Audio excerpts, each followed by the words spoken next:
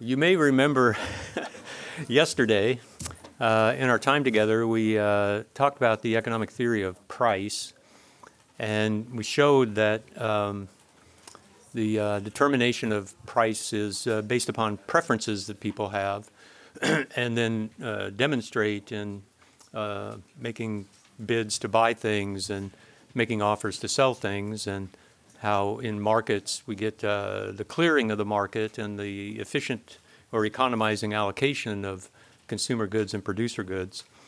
You also um, uh, uh, learned about the uh, the same approach of um, pricing with respect to money in the lecture given by Dr. Sandy Klein, where she explained how the purchasing power of money is determined in the same way by this process of preferences and um, uh, voluntary exchange and, and so on. Now, all of these prices that we talked about yesterday, then the prices of consumer goods, producer goods, and money, were what Murray Rothbard would call uh, cash transaction prices, by which he means that the two parties engaged in the trade uh, fulfill their uh, obligation in the trade uh, at the same moment in time. So there isn't any intertemporal dimension to these prices. so what we want to do in uh, our time together uh, today is talk about the intertemporal price of money.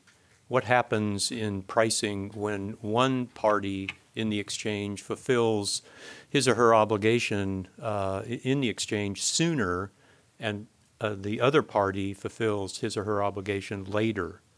And so here we get the intertemporal aspect of action.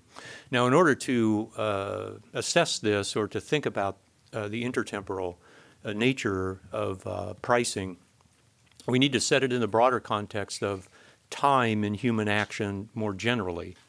And so that's where we'll begin. We'll start with some fundamental uh, principles of uh, time or the temporal aspect of human action. And then we'll move to uh, a brief uh, description of the two different ways in which persons uh, value their action with respect to time.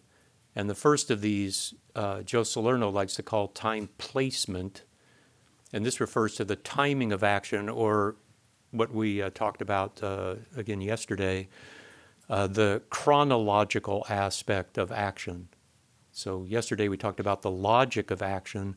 But now we can talk about chronology. When are actions taken?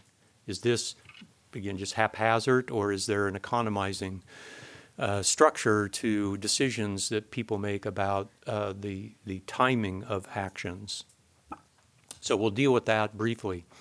But that consideration has nothing to do with the interest rate, which is our main topic, right?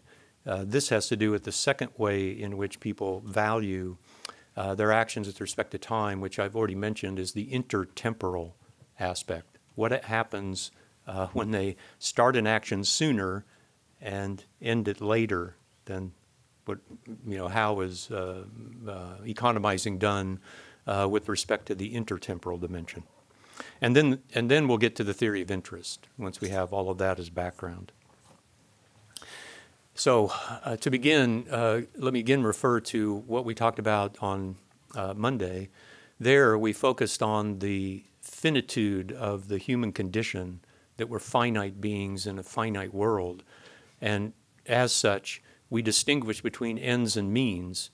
And then, given that basic distinction, we worked out the, the various um, relationships between means, consumer goods, and producer goods, and the the process of valuing and imputing value and then pricing and so on and uh, so forth uh, with respect to that uh, aspect of human life.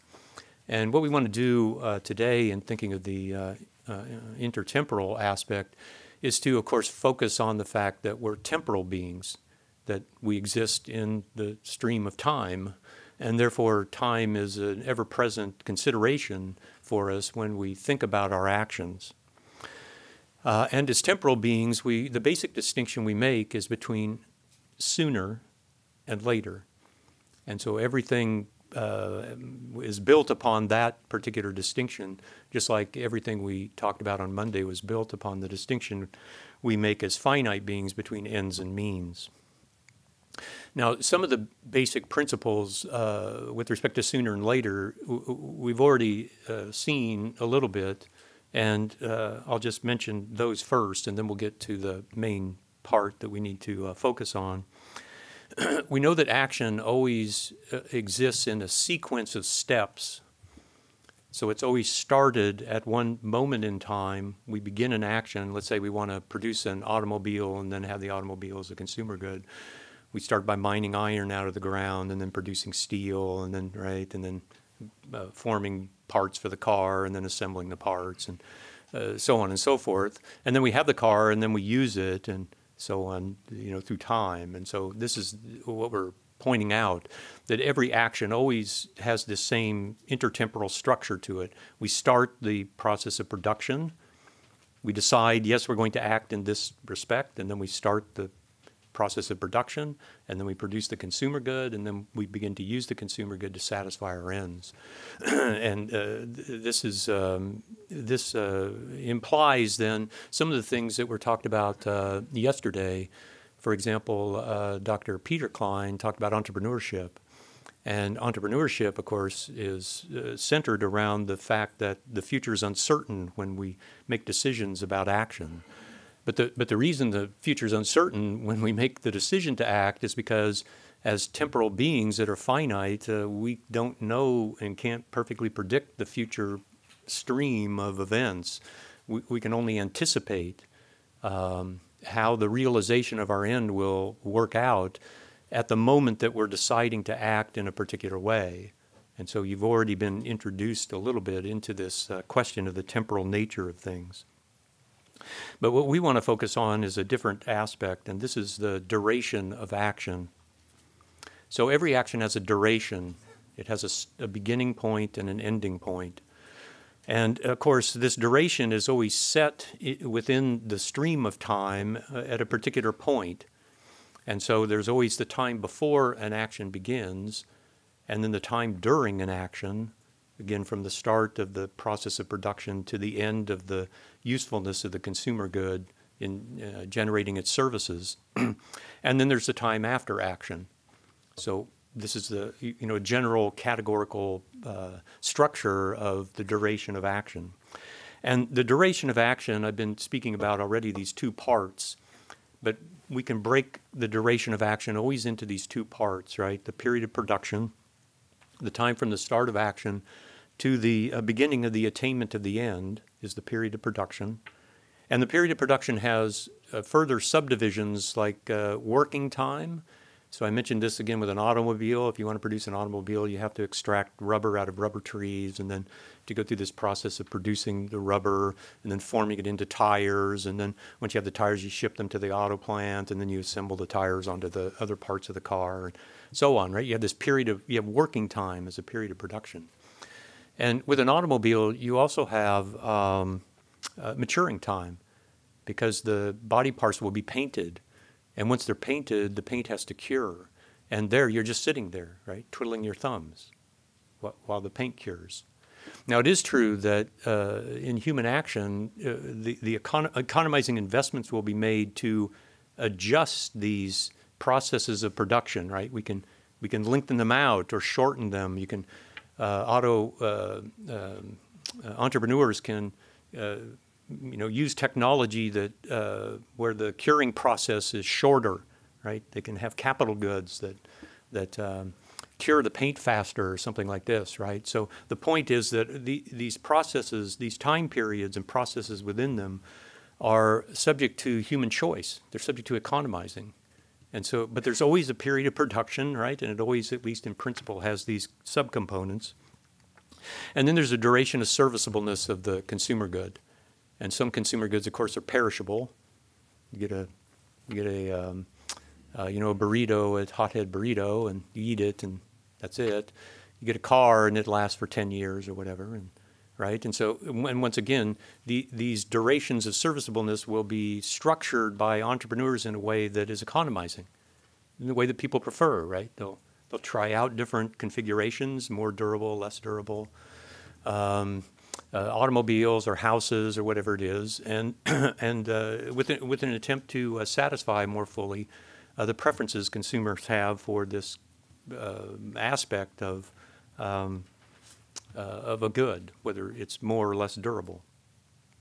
And then the other thing to notice about duration is that not only are these component parts of the duration of an action subject to human choice and therefore economizing, so is the time placement of the action itself. And, and that's what we want to uh, turn our attention to here. Uh, let's say we have this timeline, the timeline from the left to the right. And uh, the action, uh, any particular action can be placed in this timeline according to whether or not the value of the action would be greater at one moment in time as opposed to another. So let me just use this example. My wife and I will be celebrating our 40th wedding anniversary on November 17th, 1983. Yeah. So, so, so th- those uh, those uh, very appropriate applause uh, go only to my wife. You know, she having to put up with me all these years. So but 40 years. And so, um, you know, it's it, it's possible for us as human persons, my wife and I, to agree to you know celebrate our 40th anniversary uh, tomorrow. That like the left side of the timeline, right? We we could do it any day of the year. But it's going to be more valuable to us if we do it on November 17th. That, that, that's just right, an illustration of exactly what we're speaking about. This, this is a general principle then of any action. Any action could have a different value depending upon we, uh, the time that a person chooses to take it. And as Mises liked to put this, uh, time is an irreversible flux. That is, the moments of time are not homogeneous with respect to action. Because as the moments in time progress on the timeline, they, they um, entail different circumstances in which action could be taken, and therefore the action could have different value or costs associated with it in these different moments in time, right? Just like my uh, uh, celebration with my wife of, um, of our wedding anniversary. So this again is a generalizable, uh, generalizable principle about, uh, about action. And so what we try to do, of course, then is economize with respect to this fact, this uh, you know, realistic fact about action, uh, we take this into account. Right? So when it's appropriate, we, we, would, we would have a time placement of our action. At that moment in time, we would start the action and stop it at the moment in time or across the moments in time when we think the value of it would be enhanced or again the costs would be lowered. Now, if this is true for action itself, it's also true for the goods that could be used to, in the action, right? And so there's a time placement of goods as well that follows out from the time, place, time placement of the action itself. So the value of a good can vary, the same exact good, right, could vary uh, depending on when it's applied in action. And of course, if that's true, then again, the persons who possess these goods will uh, pay attention to that fact and take into account, you know, uh, having the good at the moment, you know, or providing it at the moment in the market when its uh, value is the highest. Think of a case like uh, oil. So we have, uh, you know, spot prices for oil, and we have forward prices for oil, and uh, they're entrepreneurs who are producing and refining oil and so on are interested in anticipating uh, what the price of oil will be in a month or in two months or six months or you know at these future dates uh, because it will impact their their profitability of their operations. and so obviously it uh, follows out then that uh, as economizing, economizing human beings, these traders would be interested in uh, making exchanges that reflect that, right? And these exchanges are called forward transactions.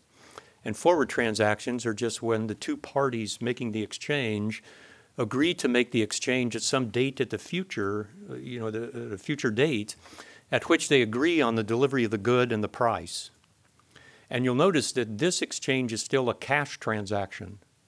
This is not an intertemporal exchange. One party isn't fulfilling obligations under contract sooner and another later. They're agree instead of doing the cash uh, contract today in what's called the spot market, they agree to do a cash transaction at some future date, six months from today, three months from today, something like that.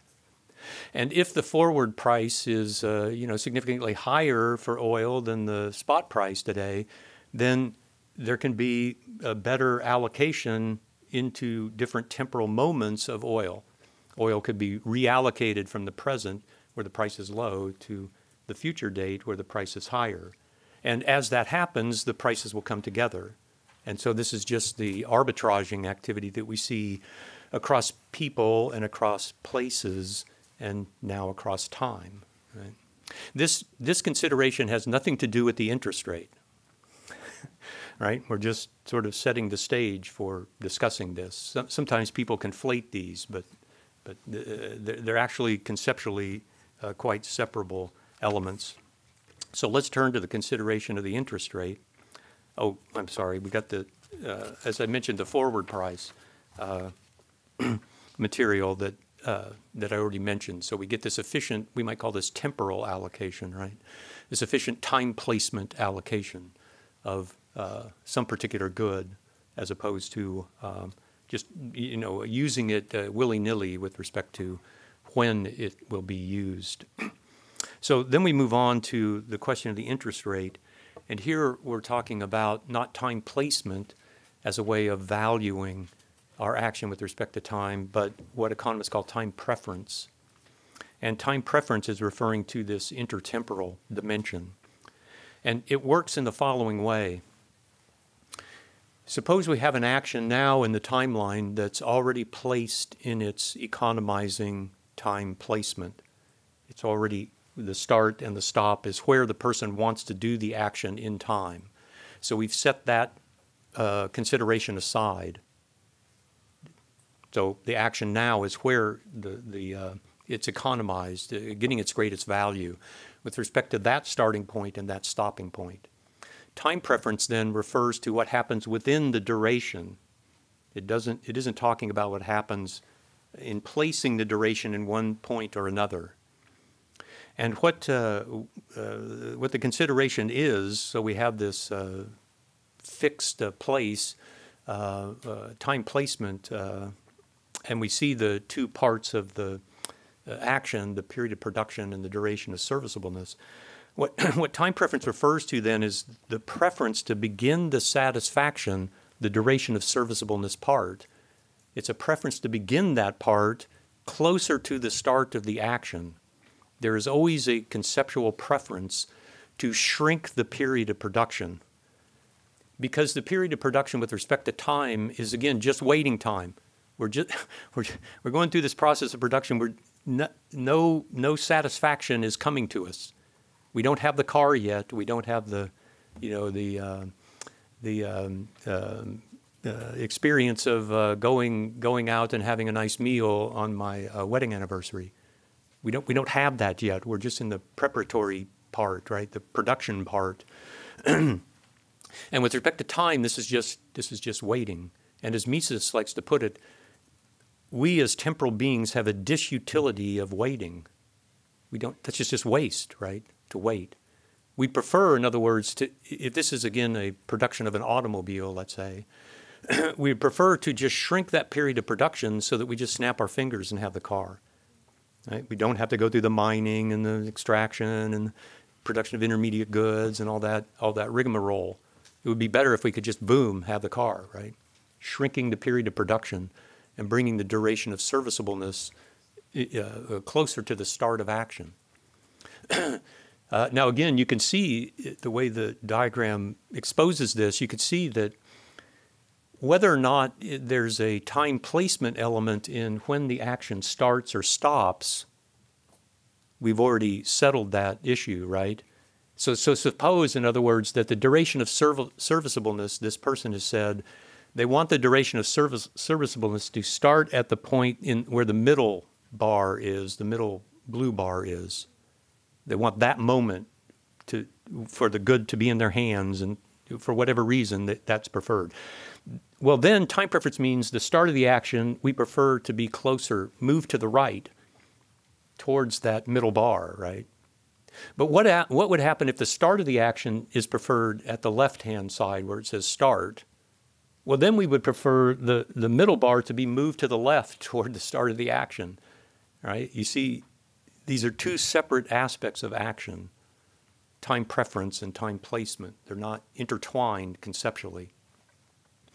Uh, okay, so there's this disutility of waiting. Now, uh, that's the background. Most of the time, when you see in the literature a discussion of time preference, you'll see it defined this way, which is perfectly fine if you understand this background. It's a perfectly fine way to put it, right? So, time preference is often defined this way the satisfaction, uh, uh, uh some particular satisfaction is preferred sooner as opposed to the same satisfaction later. That's the way time preference is usually defined. And that's perfectly okay to define it that way, again, as long as you're not conflating that with time placement, which could be done, right? If you're, uh, you know, if you just see this statement, it, it, could be that you would conflate the two. But again, that uh, it's quite clear in Mises's writing that these two things are entirely distinct. Now, another thing to mention about time preference is something we mentioned about preference uh, yesterday. This is a logical category of action. This is apodictic. Uh, it's uh, essential. There isn't any possible action that finite beings can take in the face of the scarcity of means. It doesn't involve preference, preferring one thing to another, choosing and preferring one thing to another. With temporal beings, there isn't any possibility that we could ever engage in action that has this significant temporal dimension without making a distinction between sooner and later, and therefore having time preference, right?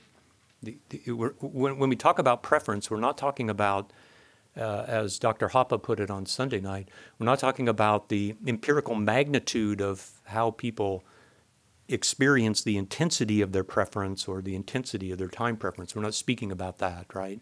That's an empirical question that'll vary from one person to another. And, you know, for one person at different moments in time, they'll have different degrees of time preference or preference for one thing and uh, as opposed to another and so on that's not what we're talking about. We're speaking about the theory of uh, the framework, conceptual framework within which we're trying to understand action as a general category, right? So we don't want to uh, conflate time preference with the idea that uh, you know this is like uh, the impatience of waiting psychologically. The impatience of waiting is just referring to the intensity of a person's time preference. If a person's impatient, they may have higher time preference rates than a person who's not impatient, but a person who, who's patient still has time preference because it's a requisite category of all intertemporal action. So that, that's something to consider as we think about this. Now, there are a couple of implications that we can draw out of uh, this definition, this concept of time preference. And you'll see some of this in the, in the lectures following out uh, today, especially about capital and uh, uh, the business cycle and things like this. And the first of these is the intertemporal production choices. So we, I've alluded to this already, right? That uh, as human beings, we can have different um, links of production processes. We can extend production processes out and further out in time, or we can shrink them um, and it, uh, again, it's another fact of reality about the human condition that the very shortest periods of production that we can engage in as finite beings do not satisfy very many of our ends because the shortest uh, production processes we can imagine are just immediate extraction of a consumer good out of nature. You know, pick berries off a bush or you, right, you gather apples under an apple tree and eat them. And well, okay, so not too many of our uh, uh, desires or our ends can be satisfied in this way. But time preference means then that as we begin to lengthen out production processes, it must be the case that we're anticipating that they'll produce either more goods for us or goods that we cannot produce by mere extraction out of nature, like an automobile, right, or a computer that obviously we can't produce with, a, with extremely short production processes. And so the idea of time preference is it's our time preferences that regulate the extent to which we're willing to engage in longer production processes, remember, in that period of duration of the um, action, in order to get something more valuable, a, a consumer good that's more valuable to us, um, i- i- you know, after the period of production. So we are we are willing to engage in longer production processes as long as the payoff in terms of the duration of serviceable, right, the, the consumption services that we get from the consumer good are worth it to us, but they have to overcome our time preferences. And so we don't immediately start to engage in the longest possible production processes, right? After the fall of Rome, people, you know, in, uh, um, in the uh, outlying areas of the old Roman Empire didn't immediately begin to try to produce computers, right, or right, or you know some some production process that would take them a long period of time. No, no, no. They just they just engage in you know production processes that are feasible for them, and then we we progress slowly over time as a as a civilization. We we progress to the point you know, building on the capital structure that's built up by our previous generations uh, in, into these longer and longer production processes that give us uh, uh, more and more valuable consumer goods in the end. So that's one consideration. And hopefully you can see right away that this will uh, have, a, have a great impact on the question of the business cycle. So in the business cycle, the, the basic problem is uh, credit expansion through monetary inflation of uh, the central banking system and fractional reserve banks extends the length of the capital structure in a way that's unsustainable because it's not consistent with time preferences and the underlying uh, rate of interest that will eventually be reasserted uh, by people as they trade in markets. uh, and then, and then, of course, the other uh, thing that we want to focus on now is the rate of interest. And here again, there there's some nuances, and so we have to be careful to proceed in uh, in a way that's um, expository of, you know, exactly what the arguments are. And so we talk about the pure rate of interest, and the pure rate of interest is, as I've, I've got on the slide, it's the time preference premium of present money over future money. This is the pure rate of interest. and the pure rate of interest, as we'll show in just a minute, is based upon nothing but time preference. We're not saying that that's the only consideration people need to make in discussing the value of uh, money in their hand versus money, the prospect of money in some future period. Um, uh, it's not the only consideration, but it's the fundamental one. And so we start here, and then we'll build a few toward the end of our time together. We'll build a few other considerations in into this. So the pure rate of interest follows out from time preference. Uh, present money allows the period of production to be shortened. So, you know, the classic example of this is um, you get married, you're newlyweds, uh, you're earning some income, but you're living in a rental apartment, and you want to uh, buy a house. Well, you could just uh, you could cut back your expenditures relative to your income, and you could save. Ten years later, you'd have the fund to buy a house. You could do that. Or you could borrow the money. And if you borrow the money, the period of production is shortened by 10 years, right? And that's why people do it. uh, they borrow the money and then they, and then they pay principal plus interest back over this time because they, because they want to shift the, the duration of serviceableness closer to them, closer to the start of this action. so, uh, so, so this is again a generalizable principle of, of, of intertemporal activity in, uh, in human life. And in this way, we get the efficient, by doing this, by lending and borrowing, we get the efficient intertemporal allocation of goods. These potential homeowner um, is, is willing to pay the interest in order to get the present money, and whoever the lender is is willing to accept the future money payoff, which is larger than the present money, in order to part with their um, uh, sooner consumption activity, right? They're giving up their funding.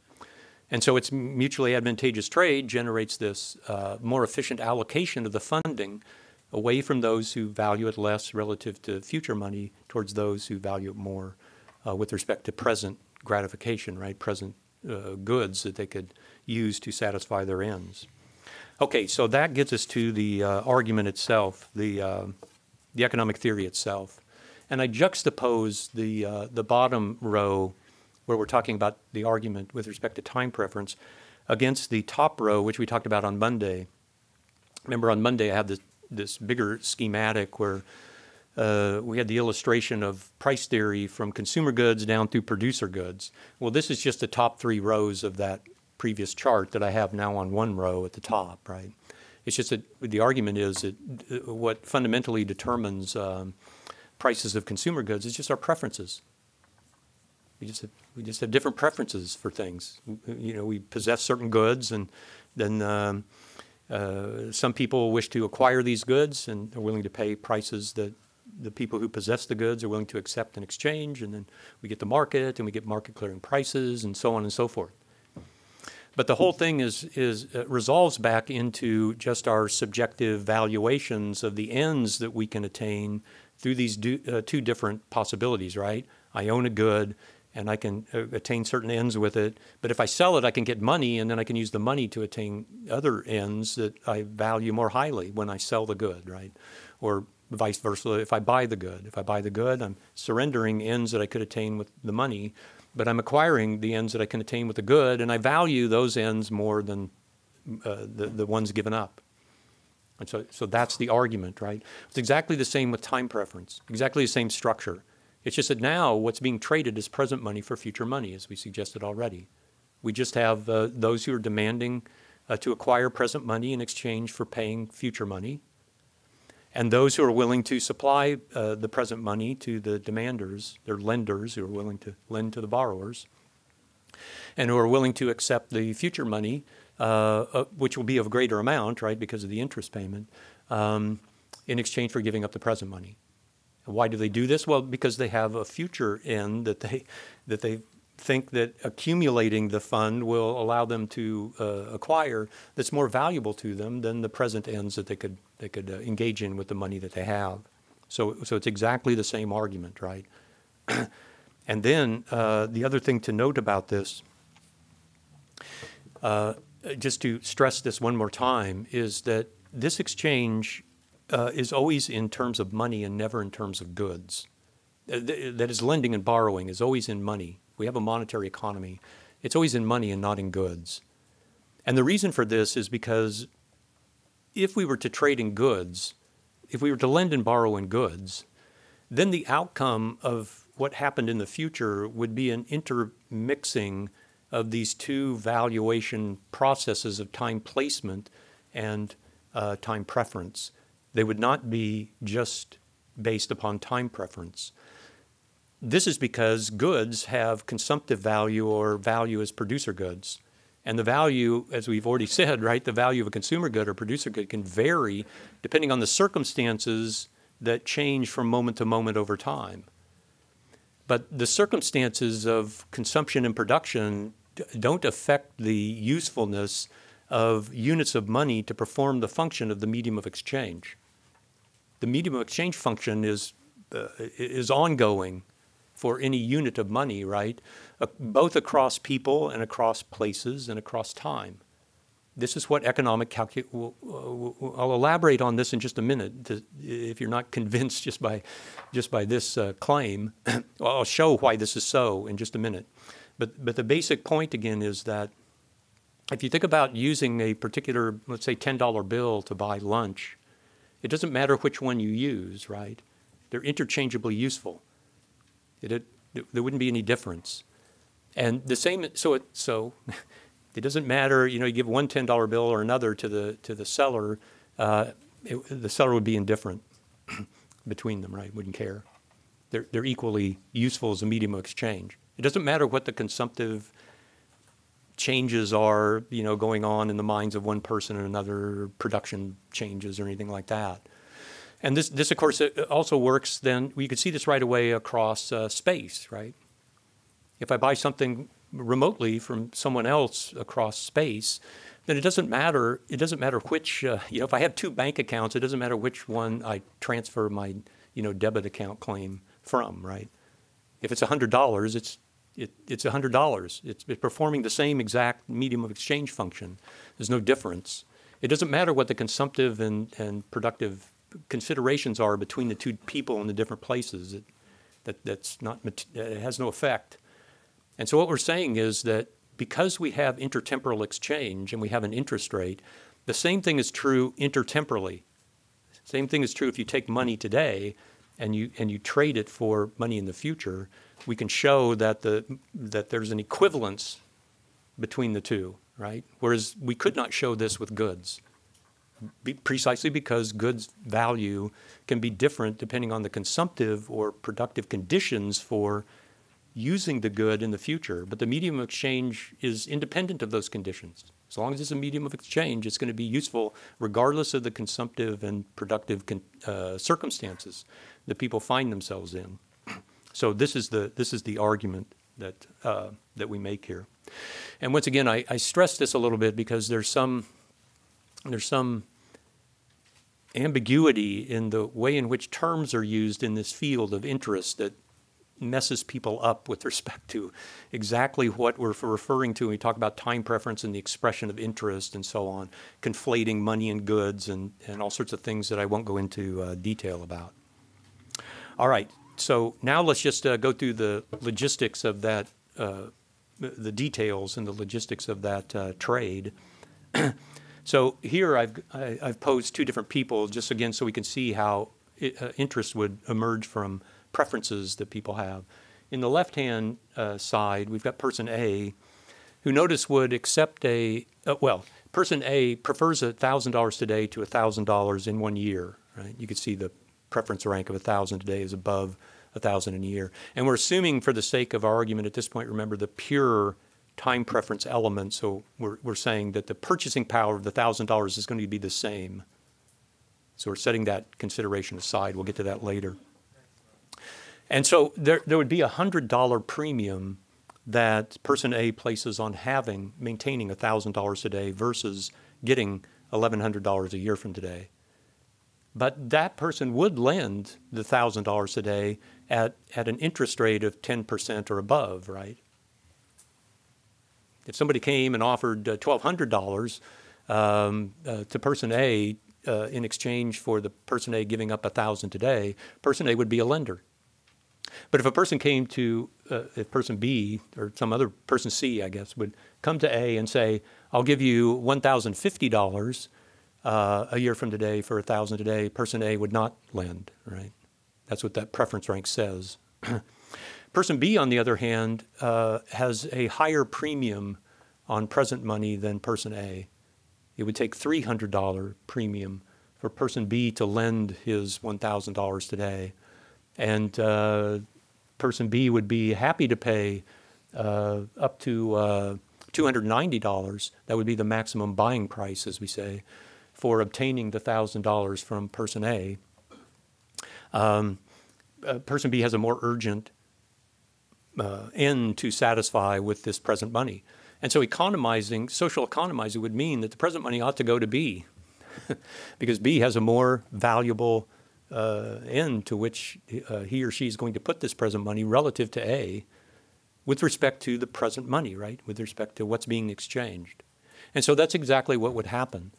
Um, the maximum buying price for obtaining $1,000 for person B is 1290 The minimum selling price for person A to, to supply the $1,000 is uh, uh, $1,100, right? And so they can come together and negotiate, settle on some particular interest payment, let's say a premium of $200, and the interest rate would be 20%. So you can see how the pure rate of interest is just set by preferences. There isn't anything else. Uh, you know, all the other considerations, the circumstances of life, uh, uh, have their impact on the interest rate through human judgment. That, that's the argument. We're not saying that conditions of human life don't affect um, uh, interest rates or, or, or prices, uh, you know, consumer goods prices and producer goods prices. We're saying the effect is always through human judgment. And th this is the filter, if you will, through which people express their demands and supplies, and therefore prices emerge. Okay, then, then the only other thing we need, of course, is the market. So just like we did with consumer goods, there'll be a market. Uh, it won't be just two isolated people making this exchange, right? There'll be all sorts of uh, uh, potential borrowers. You remember the data point here is point A. I looked this up yesterday. If we want a particular example, the two-year uh, Treasury note interest rate yesterday was 4.81%. That's what we're talking about. That's the R0. Why is it 4.81%? And economists say it's 4.81% because that interest rate cleared the market yesterday for trading in, uh, you know, supplying and, and, um, and demanding uh, these, these funds, right?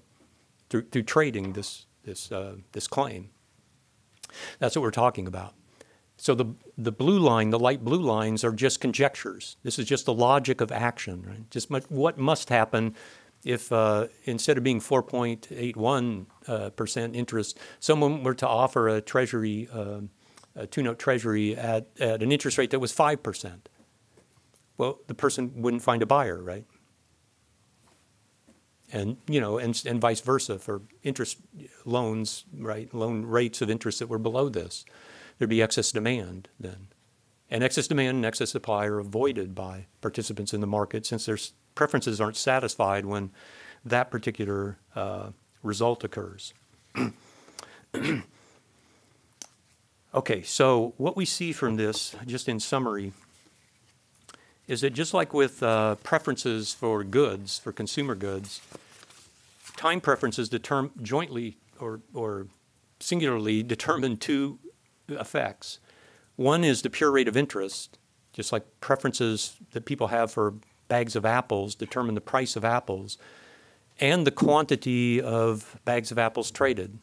So time preference determines jointly the rate of interest and the amount of lending and borrowing that occurs. Or we could say the amount of saving and investing that, that occurs. Time preference, time preference determines them both. Right? Again, this is sometimes a point of ambiguity that trips people up in this field. so that's important to stress. And now let me get to this uh, claim that um, once we have a time market where there's trade of present money for future money and an interest rate that emerges the, the, uh, the uh, time market interest rate makes present money and future money equivalent for economic calculation. So this is what you all learned about, uh, you know, if you take in business classes about, or uh, classes in finance, about uh, how interest uh, can be compounding or discounting of present money in the first case or future money in the second case, right?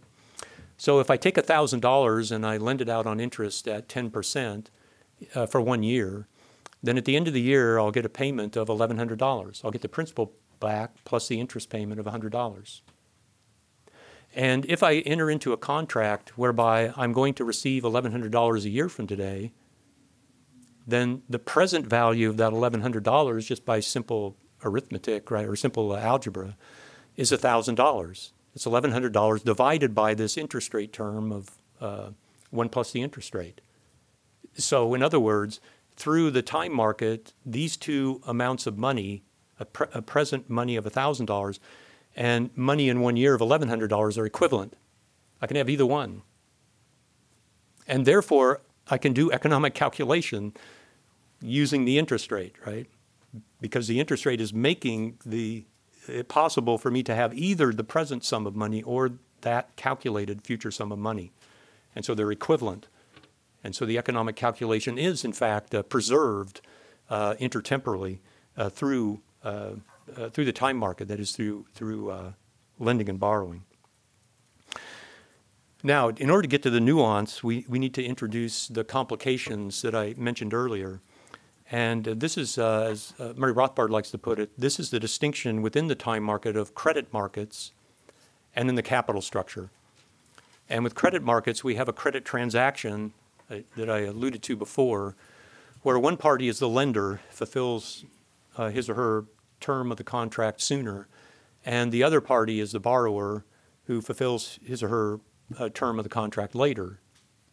And these credit transactions then uh, could be either for consumer loans, and then the consumer loans could be subdivided uh, into the various consumer goods that are bought. So houses, we have the mortgage uh, lending markets, and for cars, we have auto loan uh, market.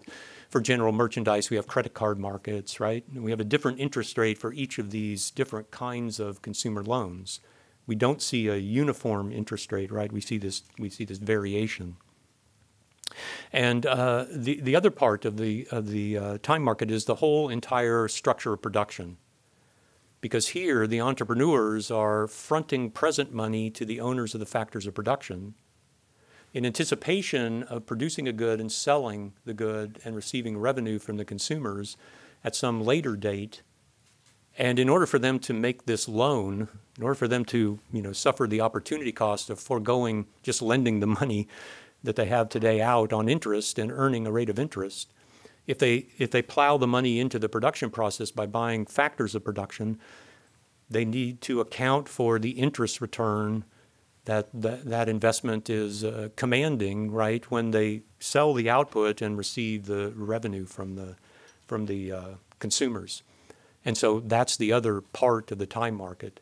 And now, since I'm uh, almost out of time, I'm going to run just to the end of this. Now, I always do this. Why, why do I always why do I always do this? So, so in any case, it's a the period of production is too long. So.